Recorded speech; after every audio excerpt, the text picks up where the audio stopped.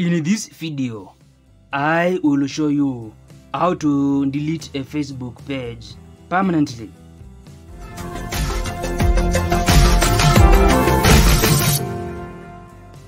Now, if you want to grow and succeed on Facebook and other social media platforms, ensure you subscribe to this channel for more videos.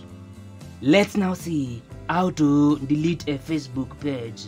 And on your page, you need to come to this left hand side and scroll down to this settings section. And after clicking this section, you will have this next page where you need to click this other section, general, to have all these options on this right hand side. And on these general options, you need to scroll down to this option here, remove page. And the next thing is to click this option, then choose to delete your page permanently. And if you think that uh, you will want to come back to your page in the future, you can instead unpublish it. And to do this, you need to cancel this pop-up screen and come above here and click this section, page visibility.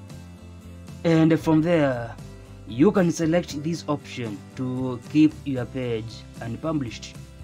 And if you decide to delete your page anyway, then you need to click this delete button and your page will be deleted permanently. Now, this is like everything for this video. If you find this video helpful, click the like button below and subscribe to this channel for more videos.